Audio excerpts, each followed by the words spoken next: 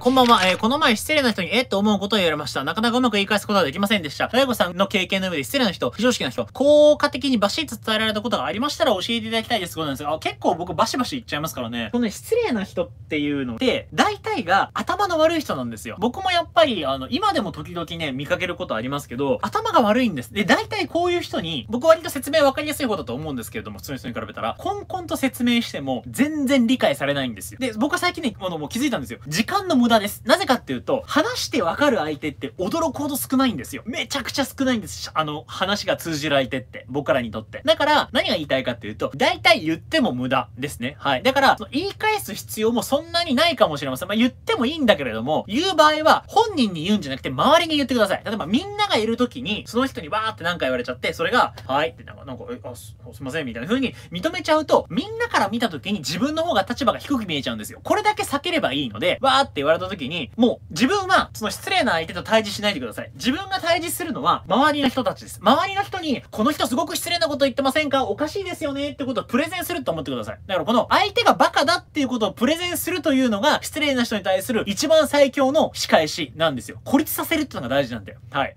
切り抜きいかがだったでしょうか？この動画の概要欄の方から今なら僕が作った D ラボ動画配信サービスですね。の無料の体験リンクと僕のオーディオブックが無料で弾けるリンク入ってます。よかったらぜひチェックしてみてください。さらにチャンネル登録のもお忘れなく。それではバイバイ。